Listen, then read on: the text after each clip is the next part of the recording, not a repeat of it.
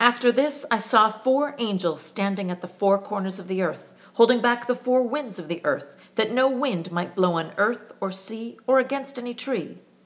Then I saw another angel ascending from the rising of the sun, with the seal of the living God. And he called with a loud voice to the four angels who had been given power to harm earth and sea, saying, Do not harm the earth or the sea or the trees until we have sealed the servants of our God on their foreheads. And I heard the number of the sealed, a 144,000, sealed from every tribe of the sons of Israel.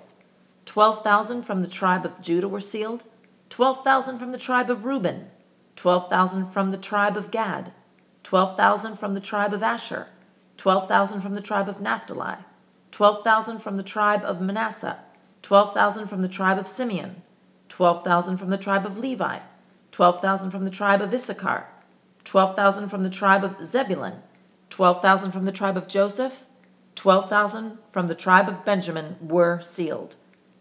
After this I looked, and behold, a great multitude that no one could number, from every nation, from all tribes and peoples and languages, standing before the throne and before the Lamb, clothed in white robes, with palm branches in their hands, and crying out with a loud voice, Salvation belongs to our God who sits on the throne and to the Lamb.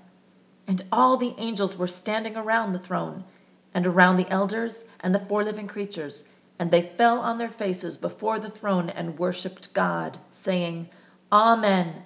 Blessing and glory and wisdom and thanksgiving and honor and power and might be to our God forever and ever. Amen. Then one of the elders addressed me, saying, Who are these, clothed in white robes, and from where have they come? I said to him, Sir, you know. And he said to me, These are the ones coming out of the great tribulation. They have washed their robes and made them white in the blood of the Lamb. Therefore, they are before the throne of God and serve him day and night in his temple.